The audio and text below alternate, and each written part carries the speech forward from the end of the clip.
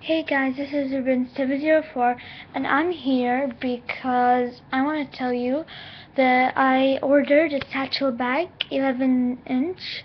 Uh, the color is neon orange and uh, also a Casio watch that I lo really love and really you know all the people like buying Casio watch because it's not like so nice, but I th I think uh, it has it's it's like amazing. I don't know why. Whatever. So and I bought and I ordered uh, Tom's shoes. Uh, as you can see, uh, I'm going later to do a video what's in my bag and about my bag.